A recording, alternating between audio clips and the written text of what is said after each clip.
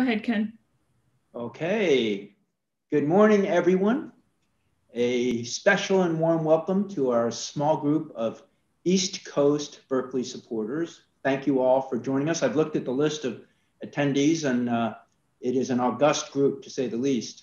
Uh, I'm Ken Wong and I've been asked to convene the meeting, which means I have four minutes before I turn over to our distinguished moderator, Dean David Ackerly. And I've been asked to say a few words about myself and my relationship to Cal Berkeley. Here on the East Coast, as you all know, we call it Berkeley. Out in California, they call it Cal. So I call it Cal Berkeley when addressing a mixed audience. Um, I'm not traditionally a big joiner or a booster or clubby type of guy, but during the last few years, I've really been drawn back to the cause of helping Berkeley and to really wanting to help it stay strong. And it's for a couple of reasons, just briefly. First is personal. Uh, I was a New York kid that at the age of 18 felt drawn to the West Coast because I felt the East Coast was sort of traditional and non diverse, kind of narrow minded. And it was a fantastic life experience for me. And I, I, will always love Berkeley on, on an emotional level, not just intellectually. The second reason I've been so ignited during these last few years is because of leadership. You know, as we all know, leadership really matters. And I just cannot describe how powerful the shift has been. Chancellor Carol Christ is a dynamo.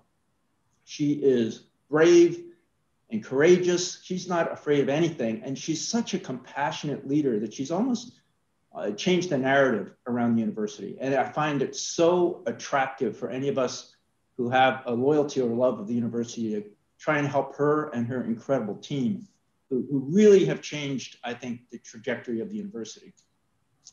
Uh, I guess the last reason I'd like to mention is that whenever you get a chance to take a bath in, in the intellectual energy of Berkeley, it's just a treat. The incredible people, faculty and students, the work they do, the issues they take on, it's, it's, it's also something I think that gives us all such deep pride because Cal Berkeley is still first and foremost a public university and provides a first step for so many people. Uh, it is a university that says that uh, being a, a, tool for social advantage, advancement is a good thing, and it's part of our mission. So uh, that's why I love this place and why I'm so honored to be asked to open the meeting. Uh, let's move to our program. So it's entitled How Berkeley is Using Data Science to Tackle Climate Change. So if you break that into two parts, data science on one hand, climate change on the other, two huge forces and challenges. A, a, a panel on either one would be great. To get them together in the hands of, of Dean David is a real treat. So let me tell you a little bit about him. David Ackerly, wave your hand, David, if people don't know you, is the Dean of the Rausser College of Natural Resources. We used to call it CNR back in the 70s. Uh, his research focuses on climate change and the impacts on biodiversity and conservation biology. His research is used to inform strategies of biodiversity conservation in the face of climate change. And he has a particular focus, this man I've read up on, he has a lot of different areas of interest, but particular focus on California parks and open space. So he's, he's, he's doing, doing good while helping us at the university and bringing along all our students. The last thing I'm going to say about David, having spent a little time with him in the past, doesn't show up in his official university resume, but he is an optimist. So with all of these challenges, you get a sense of the possibilities for solutions to all of these problems. You get a sense of almost joy in understanding these problems. And he's assembled an incredible all-star panel that I'm looking forward to listening to. So David, thank you so much for offering and being the moderator of this. I'll let you take it from here and introduce our distinguished panelists. In a final word, thank you to our panelists. We know you are busier than we are, and you're giving us a treat today during lunch hour on the East Coast. Thanks for getting up early. That's all from me. Well, thank you so much, Ken. Uh, it is such a pleasure to be here. I know uh, some of you on the screen, but not all. And this is, of course, one of the pleasures. one of the pleasures of COVID is realizing how what this is the right thing to do to drop in and have events like this. and not to orient everything around our long distance travel. Um, so it's nice to reach more of you. And we do thank you for taking your lunch hour this is one of those days where this is my third call one on the east coast one with switzerland and now new york. So this is this is the world of covid.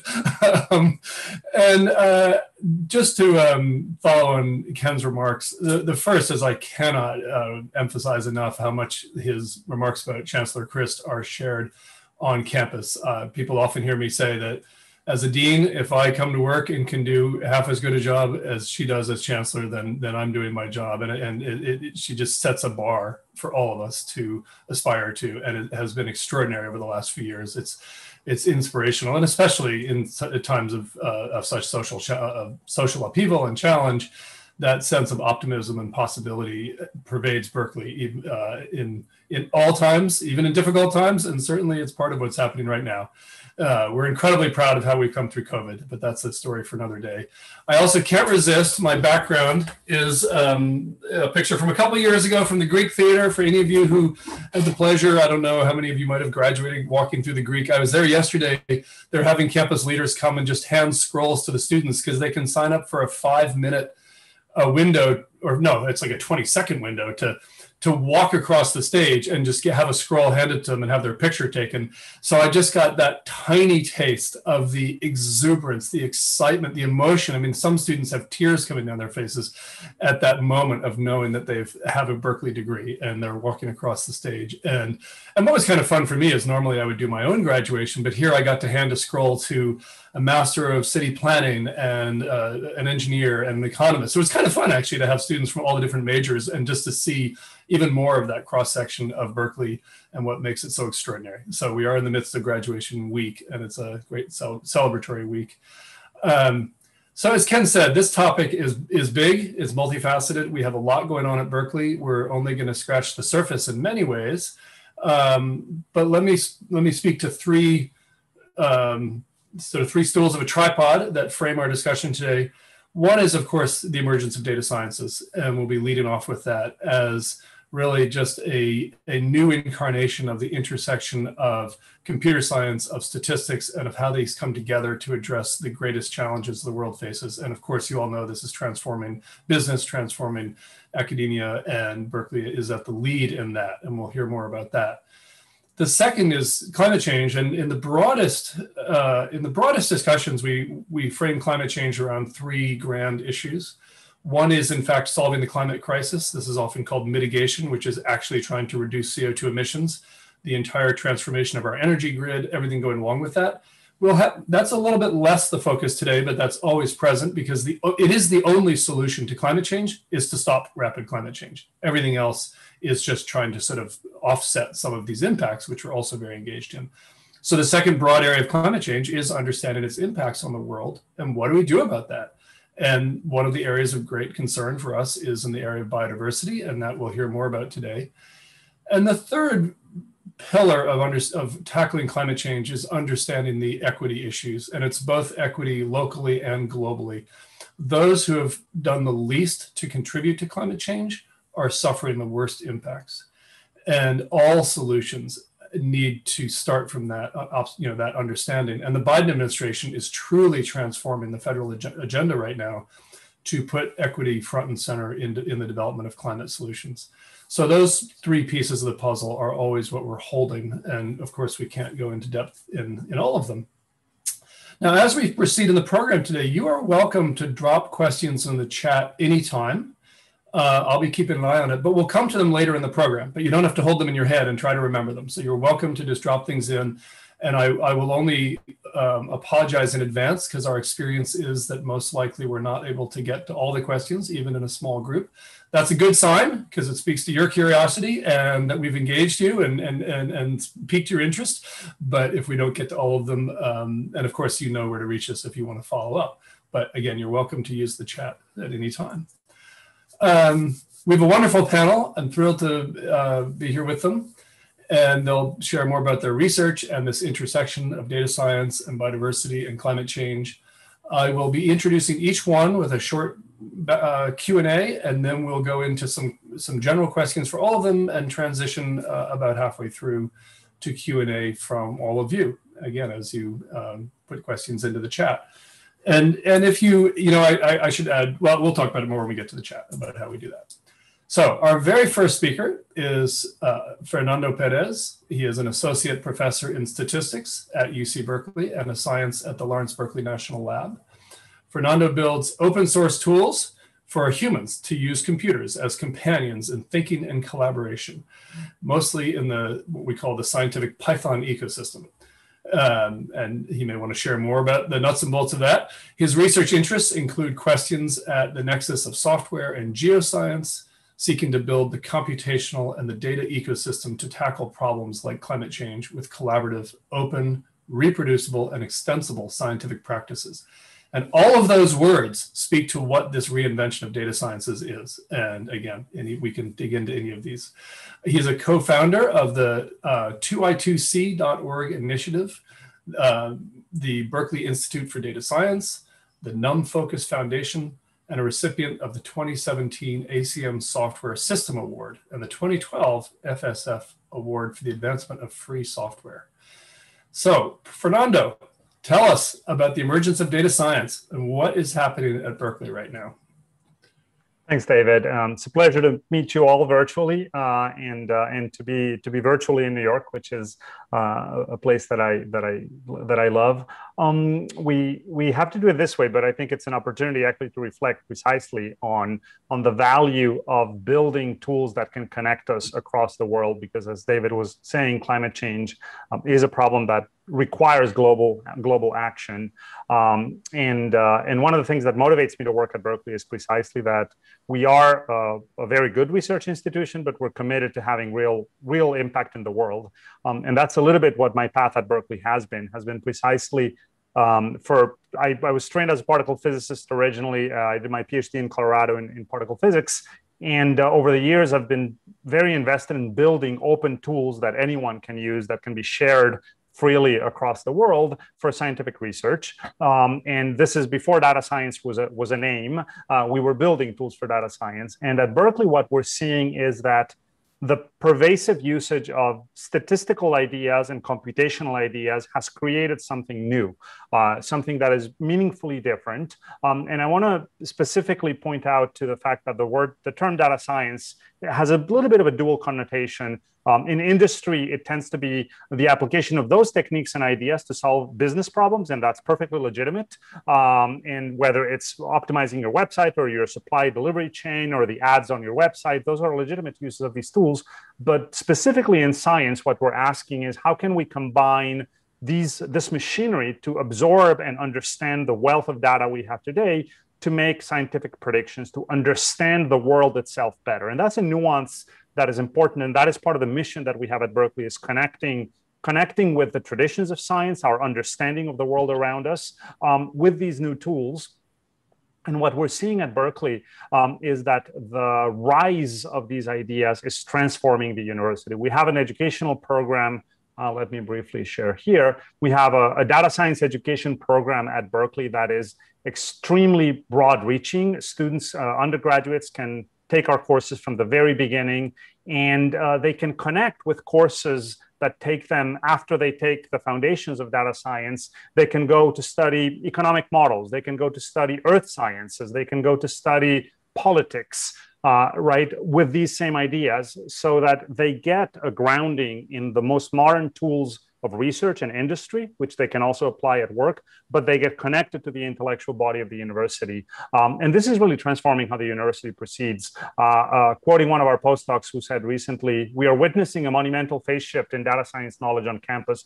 The undergrads are extremely well trained, and sometimes they're even ahead of their professors. And it's wonderful to see that, that to see our undergrads actually get ahead of us because they are becoming so proficient with these tools. And Berkeley is a place that cares about both the core research and building this and sharing it with the world. That was Fernando. Thank you so much. One of my at graduation, one of the pleasures was, you know, so and so BA in data science. So as they were coming across the stage, so handing those scrolls to some of our first couple, just first couple of cohorts of data science majors, a brand new major.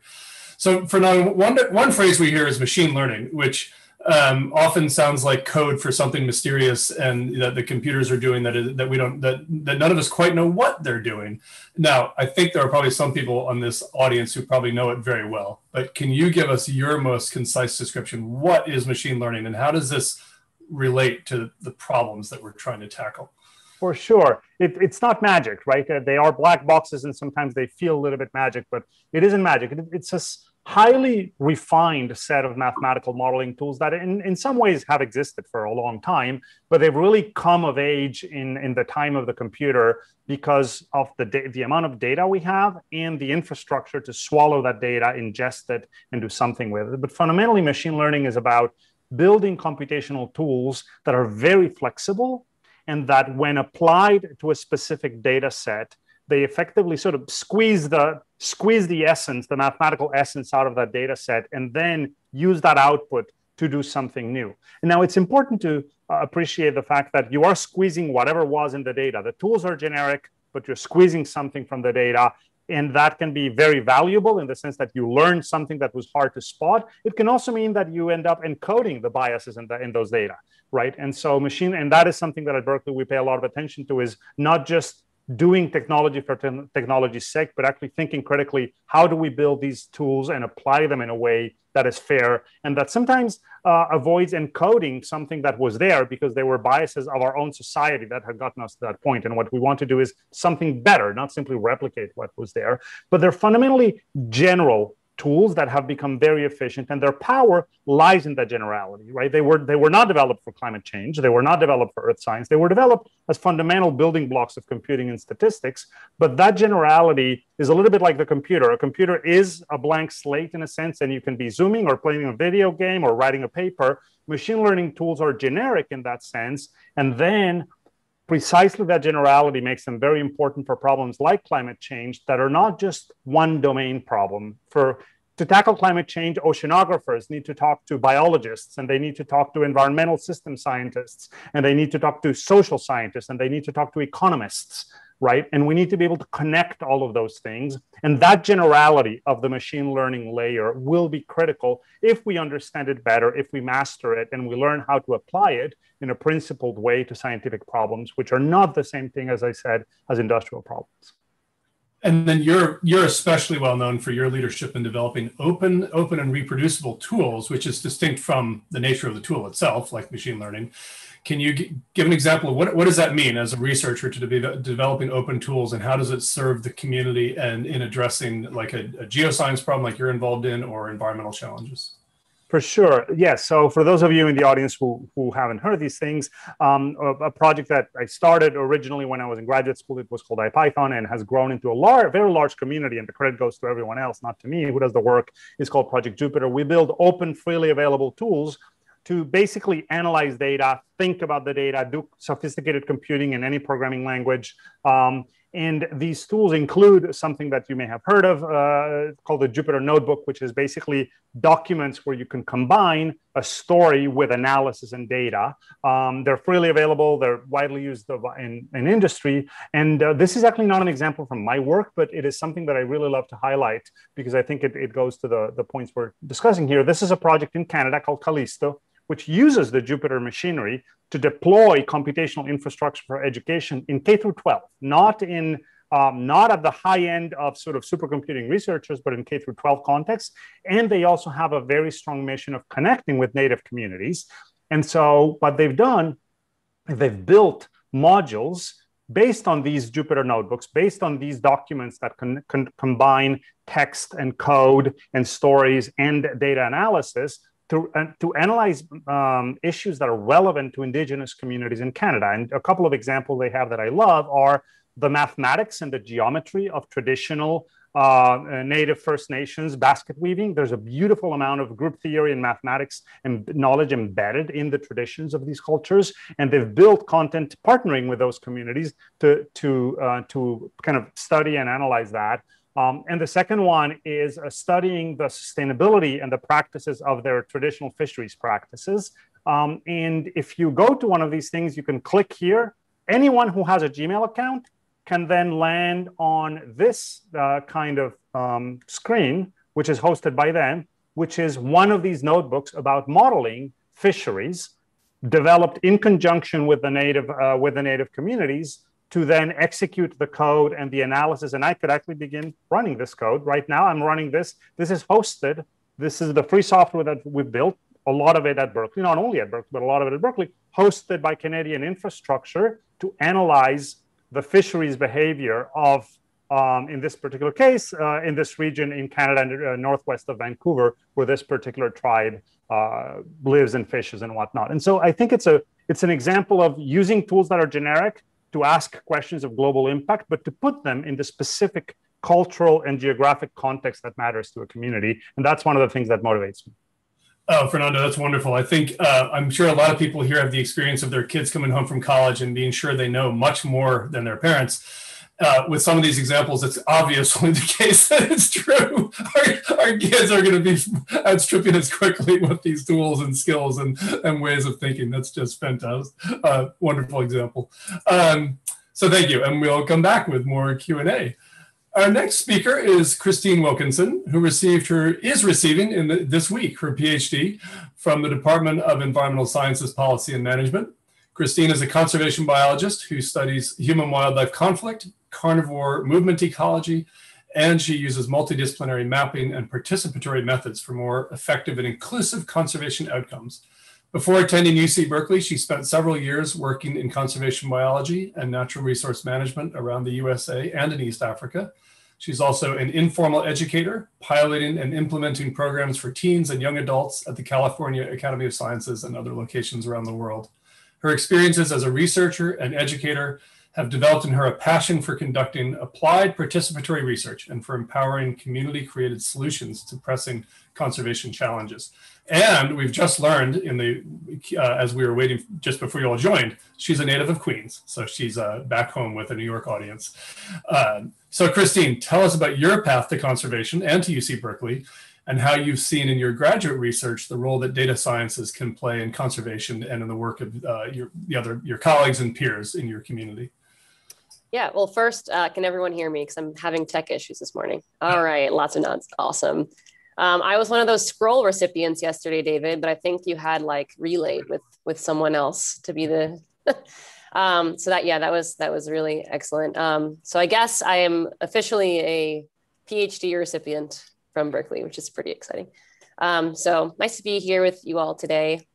Um, as far as my path, so starting from the very beginning, yes, I'm from Queens. I grew up kind of running around chasing like squirrels and cockroaches and all sorts of other urban wildlife that I thought were very cool. And um, very much was kind of focused, really keenly focused on um, doing any sort of work with wildlife that I could uh, for my for my path. I was very wildlife centered. I couldn't even imagine working with people at all. Um, very shy, and I had my eyes opened when I first studied in Kenya and Tanzania during my undergraduate um, at Cornell. If anyone you know went to Cornell, um, I went there and I made a lot of friends there that were dealing with human wildlife conflict. So that's um, as David mentioned, my focus. So um, we're when we talk about conflict, we're talking about people having their crops raided by wildlife, or having their livestock eaten by wildlife, or even being attacked themselves and kind of the dynamic of how people retaliate against that and the, the kind of human centered conflicts underlying all of those human wildlife conflicts. So, how I first got into that is when I was studying in Kenya and Tanzania, and I met people that would say things like, if a person kills a lion in retaliation for, say, the lion killing their cattle, then the government will be here in two days and will arrest them. Um, but if a lion kills a person, you may never see compensation or even acknowledgement of that happening. Um, so there, that kind of really broadened my view of what conservation was all about um, as this very, very interdisciplinary, human-centered problem, rather than just being all about wildlife, which is what I kind of grew up thinking. Um, and I had a whole new passion in life to try and understand this interdisciplinary challenge, right? This challenge that that involves um, fields as varied as public health and economics and politics and um, you know poverty even that that goes into conservation and into issues like human wildlife conflict and those kinds of interdisciplinary challenges that need interdisciplinary solutions so that's what led me to berkeley because I made all of these friends in Kenya and Tanzania, and they kept saying, We need tools to deal with these issues. We don't have them. And I was like, I'm extremely unqualified. I need to go somewhere where I can be in an environment to learn these tools to understand and solve these interdisciplinary challenges. Um, and I was really interested in working with folks like Justin, who you'll hear from in a second, um, and others to, um, as you know, as Fernando touched on, to kind of take these new tools and apply them directly to the global challenges at the local scales that people needed them for. So um, I ended up in ESPM, which is, I found out when I got here, quite widely known um, for its collaborative and applied nature. And, um, and when I say ESPM, I mean Environmental Science Policy Management. For those of you who don't know, my department. Um, and I am currently, well, I was in two labs, um, and I really enjoy kind of the culture of being co-advised here is very accepted.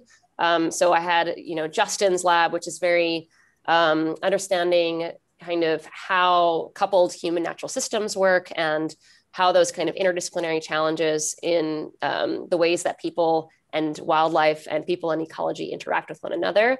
And also, I'm in, I was in another lab with Maggie Kelly, who runs the Geospatial Innovation Facility here.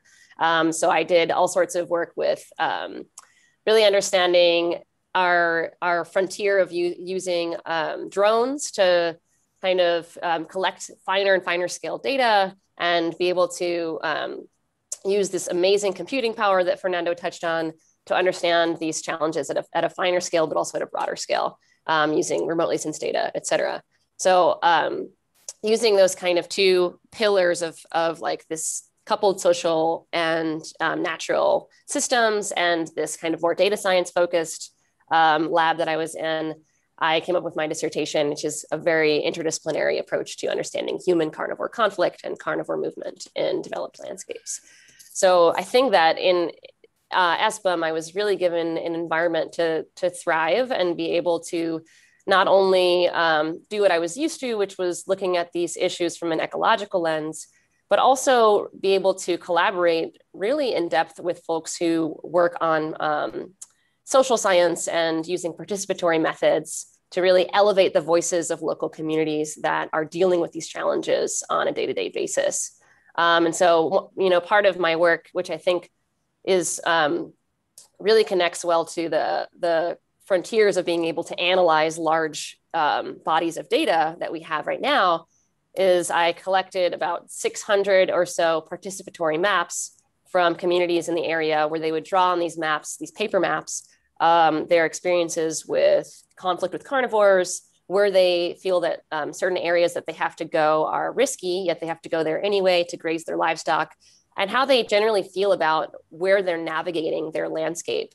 Um, not only so that I could kind of gather a body of data to understand carnivore conflict, but also so that people who are on the ground dealing with these issues can draw what they feel is important to them in space. So I was able to kind of feed those 600 maps into a digitization process and use um, this amazing computing power that we have here to analyze those maps and kind of elevate community voices in a, in a new way. Um, and another um, kind of amazing thing I've been able to do here at Berkeley that's touches on interdisciplinary work and on data science is I was part of a program called Data Science for the 21st Century, um, which took um, graduate students from across the campus and faculty from across the campus including David Ackerly here, um, and basically trained us in reproducible data science methods, trained us in um, all of these, these elements that um, Fernando mentioned our undergrads are, are getting like from the ground up, they're getting all of these data science methods, but you know, there's some of us that like are in this gray area where we just missed the curve, right? In, in my undergrad, we weren't learning R, we weren't learning Python, we weren't learning these things at all and ecologists weren't expected to be data scientists, but now we are. And so, Data Science for the 21st Century was a program that kind of took all of those students that kind of just missed that curve and try to bring us up to speed on these methods and on these tools.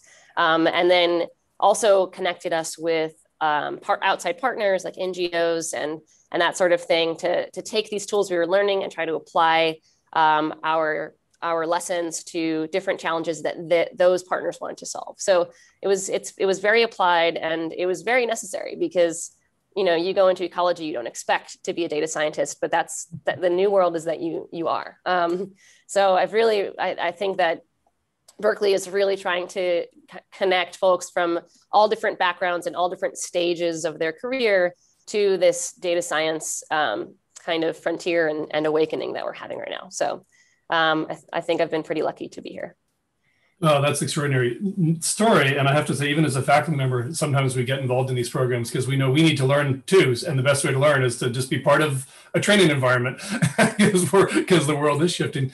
But one thing, Christine, one thing you spoke to, which is so extraordinary, is is how human data sciences is and Fernando as well. You know, your example of participatory mapping, ways to capture knowledge that is completely outside of realm of what we would call computational, bring it into a realm where it can be treated that way, and then bring it back into the world for decision making. And I think that speaks to a lot of what this entire community is really involved in. I, am also curious, Christine, in your identity as an African American woman coming into science, how has that shaped your work, and and how do you see the diversity of the perspectives of the people who are doing science, data science, climate work, conservation science. How is that diversity important to the science that we do as a community? Yeah, that's a that's a great question, and I think I could answer you for like a full hour, um, but I'll try to keep it keep it succinct.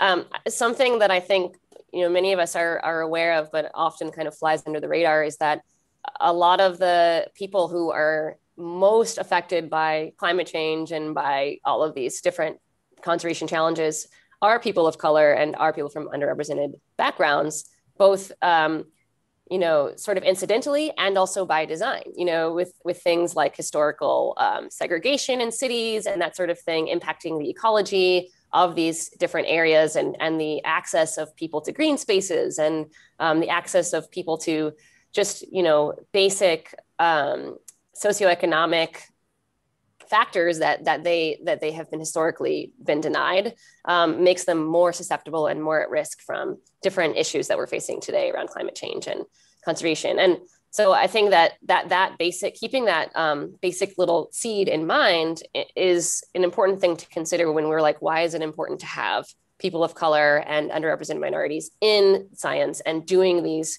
um, sort of projects that use data science to address conservation challenges, it's because those are the people that are most effective, right? So if the people who are, dealing with these challenges on a day-to-day basis are also in the room making decisions and and doing the science, they're going to have a lot more effective solutions to to these challenges. You're going to have the right people at the table who know what's going to work and what's not going to work when you're designing solutions and when you're designing research projects and um, deci- deciding who's going to be involved. Um, and without that, you'll end up siloing yourself. So I think that, um, you know, programs like Data Science for the 21st Century, which was a, you know, a funded program that, you know, if you got funded, um, you know, a stipend and that sort of thing are really important to kind of bring folks like myself into data science um, and, and um, give them a, a tangible, you know, way of not just getting involved, but also like getting paid to be involved and getting like benefits and resources to be able to actually tap into these these um, types of science and, and um, tools that we have is really really important. And i think we're seeing more and more of that. And i think we're going to talk more about how we're doing special faculty hires around that and that sort of thing. Um, but we have a really really long way to go. And for me like for example I, I did my PhD so that I could connect tools like this to the folks on the ground that are in Kenya Tanzania and Uganda, where I've done most of my work. Um, but I would rather have been able to bring them to Berkeley themselves and like bring them to be able to just gain this knowledge and be immersed in it themselves. And, and that's kind of that divide that we need to be bridging more directly and, and in um, you know, devoting more resources to doing that, just so that we have those folks in the room. Thank you, Christine. And I know um, we have a we have a long way to go at Berkeley we also know that in many ways this is one of our core strengths you know compared to the landscape of other universities. But it's not something we it's not something we want to be better than everyone else at because we want everyone to be really good at, at bringing this diversity of voices to the table. So we hope we can be a leader but we hope it's the kind of leadership that is influential both nationally and globally. And um, and it's certainly a, a value shared widely across the university even as we tackle the challenges of, of realizing those aspirations So thank you for speaking to that and as and your work. Uh, and we will turn now to our final speaker, uh, Justin Brashares. Justin is the Goertz Professor in uh, Goertz Endowed Chair in ESPM, the same department we've been speaking about, a founder of Berkeley's Biodiversity, Human Health, and Livelihoods Initiative. Justin's research combines traditional ecology with interdisciplinary science to study how human activities are rapidly changing our planet and to highlight and communicate the everyday consequences of these changes for nature and society. Work in Justin's group extends traditional environmental science to consider the economic, political, and cultural factors that drive and in turn are driven by changes in biodiversity. Through these efforts, Justin is, and his group at Berkeley strive to propose empirically based action oriented strategies for global conservation. So, Justin, uh, in addition to everything you're doing on campus, training students, including Christine, for example, uh, you've engaged a lot in issues of climate change and biodiversity loss as a board member for foundations, as an advisor to the National Geographic Society. So, have these perspectives and your engagement with uh, what we would call external or NGOs in your work as a university professor, how they influence your approach to environmental problem solving and your view on the role that Cal can play in promoting the changes that we'd like to see? Well, thank you very much, David, and thank you all uh, for including me. And it's wonderful to see everyone. Um, and I'll try and keep my answers short so that we can save time for interaction and questions. Um, but I should also, I should probably uh, have a confession, that is the first time I sort of agreed to be involved with National Geographic and some of these foundations on the East Coast. I somewhat selfishly saw it as an excuse to see my mom, who's in uh, Washington, D.C. A, a, shout out to all the D.C. folks here still living on Oliver Street in Northwest. Um, and so, uh, but what has happened over the last several years of uh, pre-COVID uh, regular trips to DC was um, a really awakening for me to, to, to see Cal um, in wonderful ways and in challenging ways through the eyes of these influential uh, media groups and um, you know, major foundations that are really actively trying to change, uh, trying to achieve positive change on our planet. And what I saw and what was so heartening was the high regard with which Cal is held and the degree to which these this community, this management and, and uh, action community really looks to Cal for leadership in, in science. But I also, as, as Christine was just talking about and Fernando touched on eloquently, and you were just saying, David, I also saw uh, or felt the perception from many of these groups um, that Cal, like many other major research universities, is sort of trapped in old structures of, you know, old silos and that um, the challenges that we face as a society, and climate change is a perfect example, do not fall within any academic category, right? We're talking about, um, as Fernando said, things that transcend from the biophysical sciences to the econo- to economics to political science and and various aspects of sociology. And so this has really been part of my awakening and coming back to Cal and saying, how can we change what we do? How can we connect to, let's call them user groups, to the public, to, to society um, in very actionable and direct ways? And as Christine was just saying, and Fernando also touched on, you know, we do that by moving across traditional academic boundaries. And again, we don't have federal funding for this. This is getting beyond the form, the traditional structures of federal funding.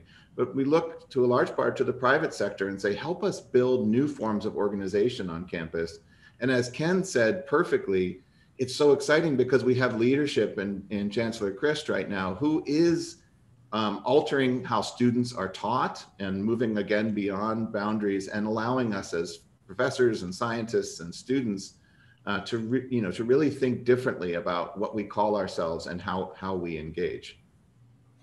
And Justin, one one specific engagement you've uh, been increasingly involved in is uh, what's become known as the 30 by 30 initiative, which is the effort to conserve 30% of the, the Earth's lands and waters and the all the biodiversity that's contained therein uh, by 2030. And um, that's not a final goal, it's just a step on the path ahead for humanity. Uh, and you're working both in California and federally. And can you share a little bit more about uh, President Biden's priorities in that regard? Also, how the role of 30 by 30 in um, in addressing climate change, both solutions and thinking about its future impacts. Yeah, well, I love talking about 30 by 30, and I sort of um, uh, feel like it's something that we should, you know, uh, if, if, I get on the pulpit, it's something I think we should all be paying a lot of attention to. So, in short, if you're not aware, the 30 by 30 stands for is um, a, a an, an, an effort to conserve 30% uh, of US lands and waters by the year 2030. And uh, President Biden signed this commitment um, as part of uh, an executive order very early in his presidency. And I just want to give you a sense of how audacious this is. This is the greatest effort in US conservation in any of our lifetimes and in the history of our nation.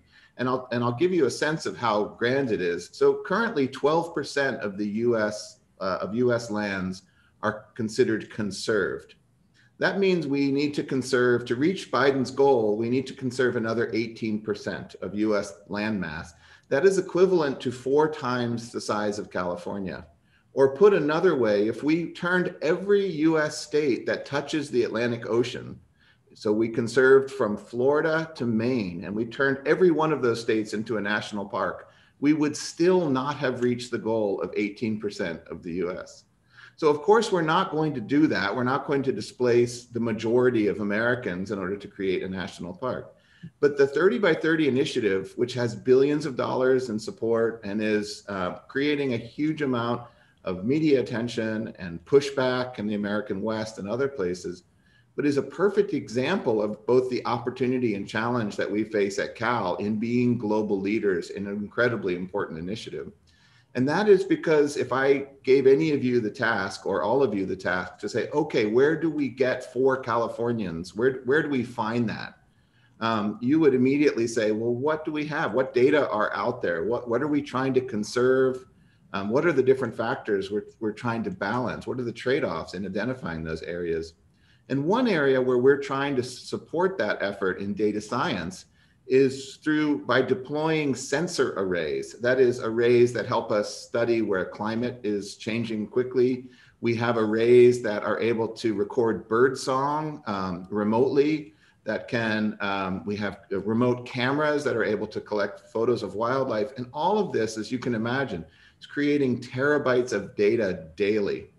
And so what do we do with those amounts of data? And we, again, we're collecting those data to try and inform federal and state action. So California has passed its own 30 by 30 legislation.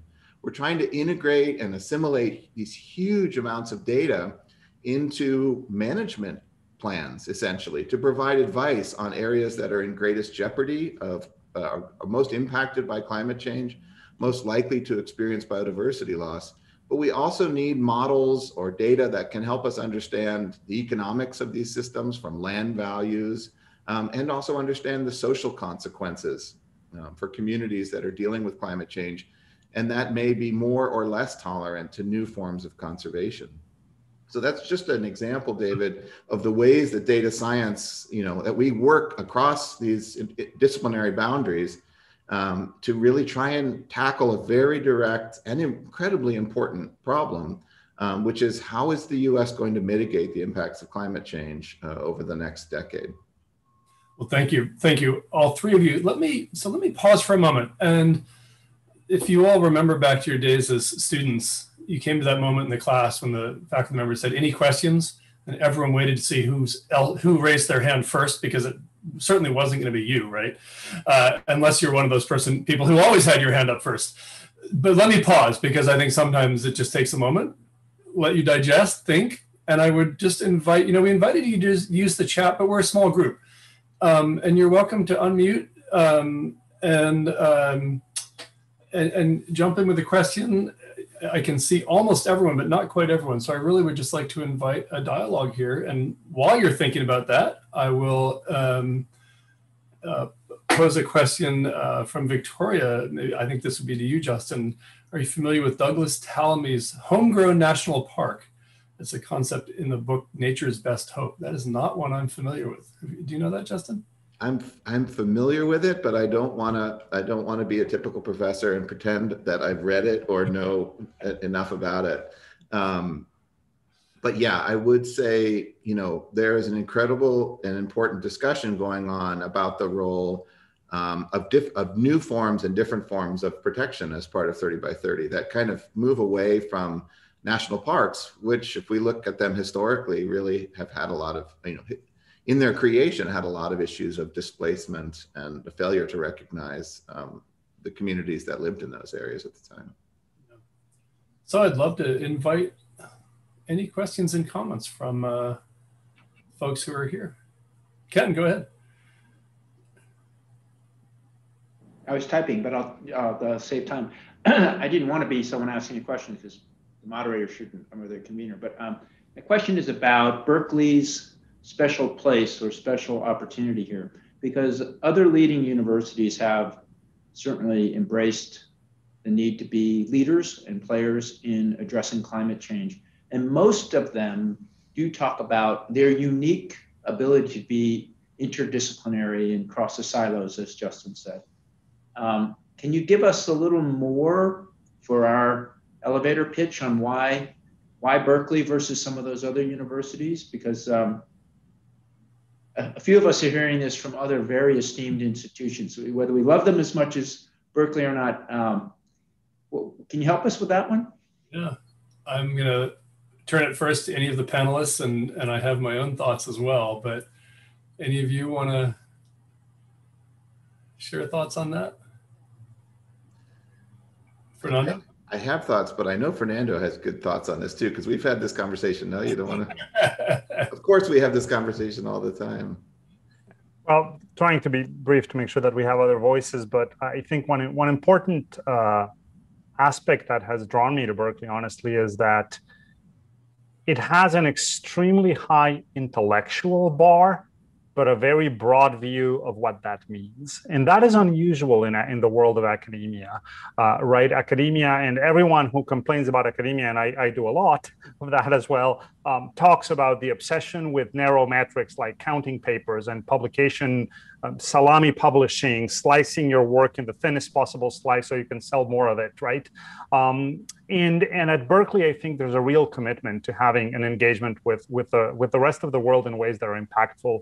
Um, just to be obviously fairly biased and self-centered, but I don't think I could have done what I've done anywhere but Berkeley. It would have been very difficult because I came to Berkeley with a very odd background, with a very unusual CV, with few publications scattered all over. And what I was doing, which was building this kind of open source infrastructure 10, 15 years ago, was not valued. Today it is a few weeks ago, there was an article in Nature about this Jupyter work being one of the 10 codes that transformed science. That's today, but when I came to Berkeley, no one would give me a job, and Berkeley did.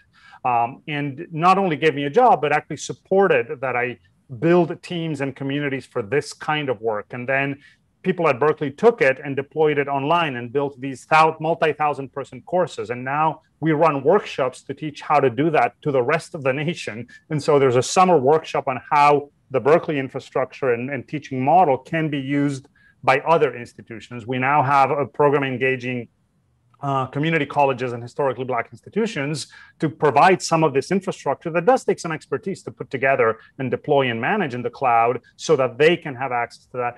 That balance of a very deep bench in science and a really strong intellectual tradition, but a, but a commitment to bringing that out to the world with a mission rather than only sort of building, I don't know, Uber for flower pots, which is what kind of some universities that are obsessed with, uh, with kind of st- startups and commercialization of everything that comes across uh, get on with is is uni- is very special at Berkeley. I'm not saying we're the, we're the only university that cares about the world, but but it is, there's a special culture here, and I think it's it's pretty unique and and needs support.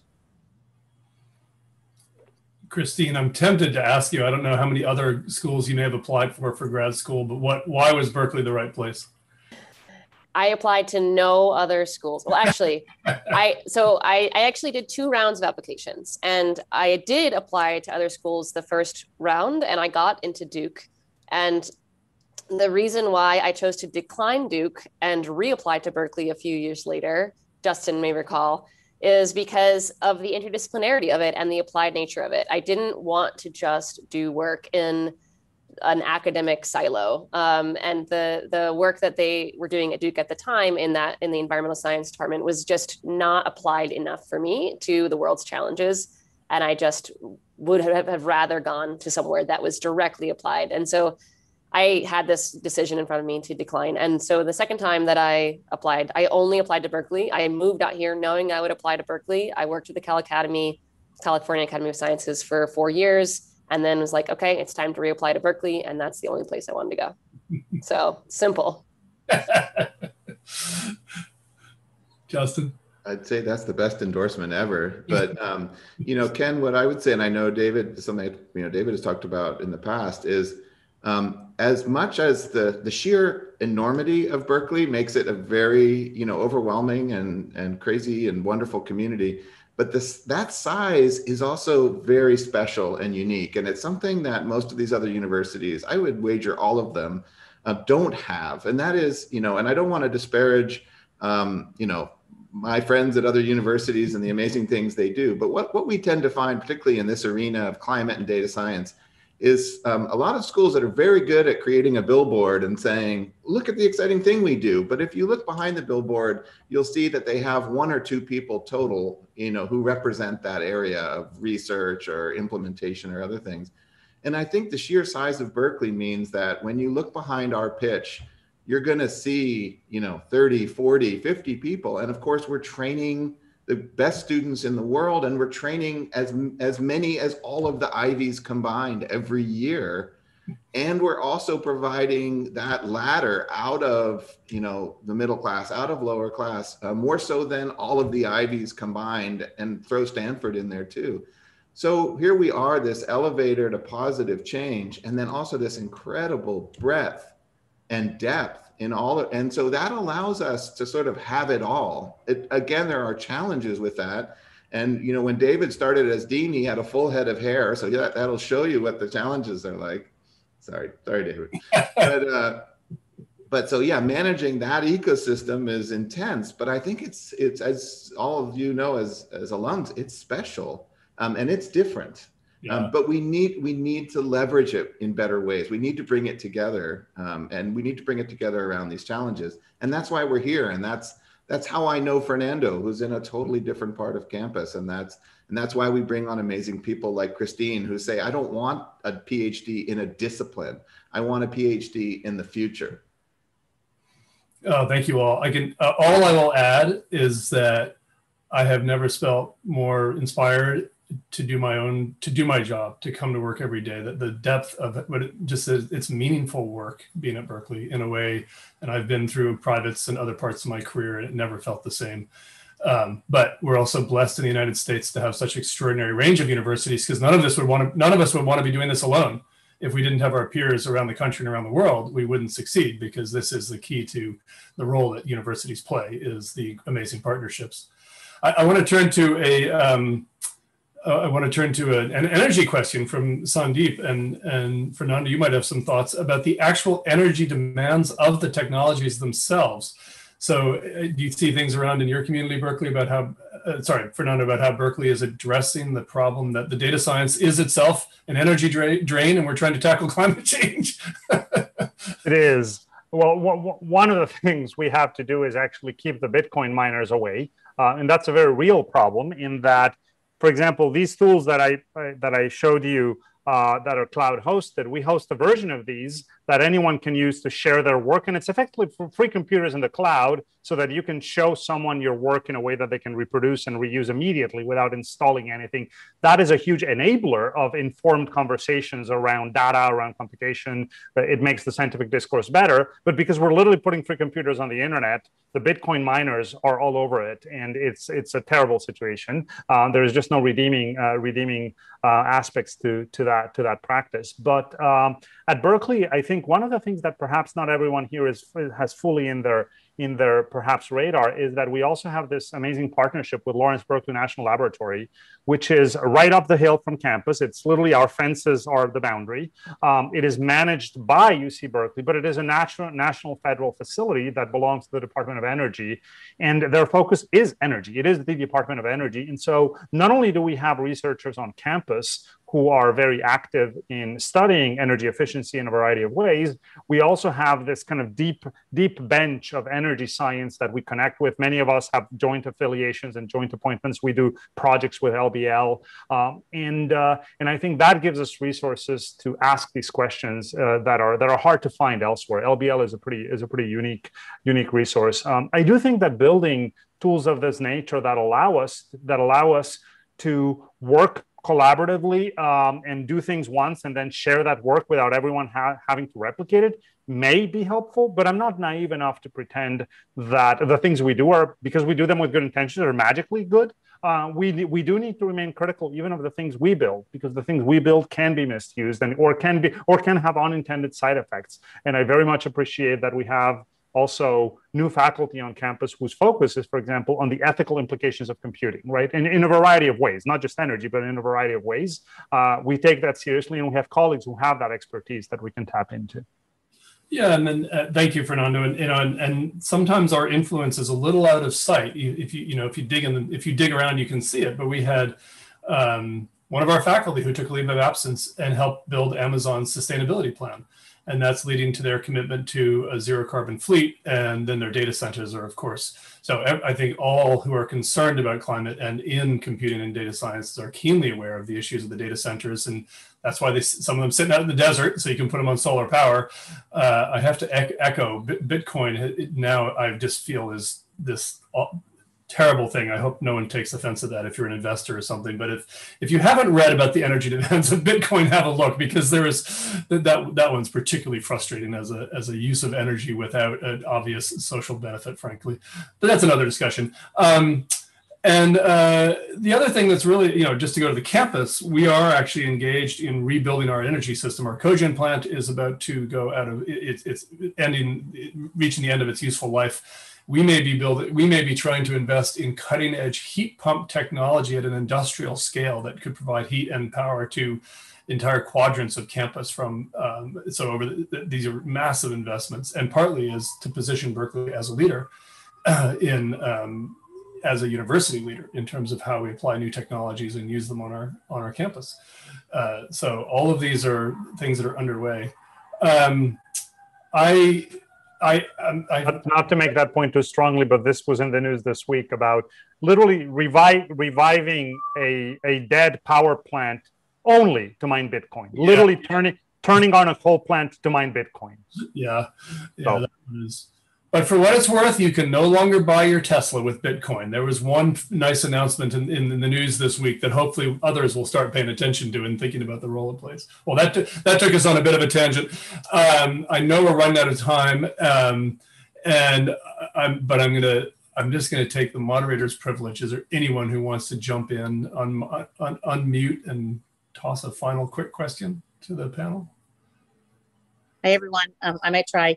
Um, I guess I wonder what all of you think is your favorite project um, at the intersection of data science and um, the uh, environmental equity. What's going to happen? What, what should we be hopeful for? What are we looking at Berkeley doing that will change the world and make it more equitable? One sentence each to answer that. Fernando, anything to add on top of your work with the Canadian communities, which is fascinating? No, and I and I want to say that this is that connection is very indirect. I know them, and they are, but they have they have led on that. Uh, however, that has that has led to what currently is, in a sense, my probably one of my favorite projects, which is that together with the folks who were behind some of that um, some of that work, we've we've created a new, literally a new organization. This this organization called 2I2C, which is to build and deploy this kind of open infrastructure, but bring it to the communities, right? Bring it to colleges, bring it to universities. Uh, but it's a nonprofit entity. It's actually housed under the Berkeley kind of fiscal umbrella. Uh, but uh, because as a university, we shouldn't be running a business. We're not Amazon right? But at the same time, we don't want to leave this kind of work strictly to commercial interests. And so, together with folks from Berkeley and from the Canadian team who put some of that together, we've created a new nonprofit entity to precisely try to tackle kind of this this area, this gray zone, which is neither a for profit business, not purely academic research. And we're trying to build this with funding from the Chan Zuckerberg Initiative right now into an entity that hopefully will have important impact. It's not specific to environmental research, but right. for example, right now, our pilot projects are with, with uh, historically Black colleges and Hispanic serving institutions.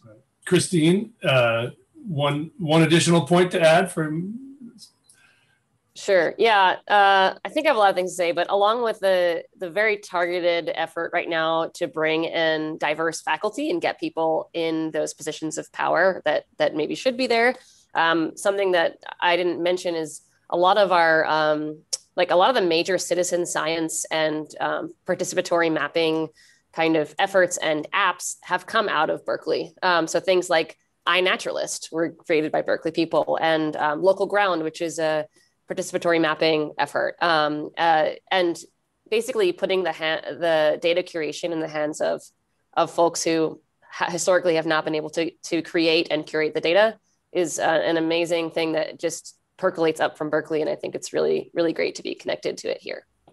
And I'm just um, yeah, Justin, final addition it's yeah tough to do a sentence but i just say along with a lot of the science i think one of the most satisfying things is working with foundations to connect um, you know very rural indigenous groups across the americas and africa to foundations to support the, these groups in deploying their own biodiversity sensor arrays and where they have full control end to end of how, how they deploy it and the information they want and how they want to engage their own citizens. And so it's i feel really a way of empowering and actually giving these folks the voice of data, which is, a, of course, a language that is um, universally respected.